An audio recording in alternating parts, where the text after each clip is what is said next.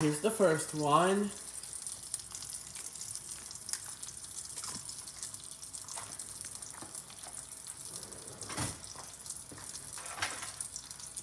Then a second, and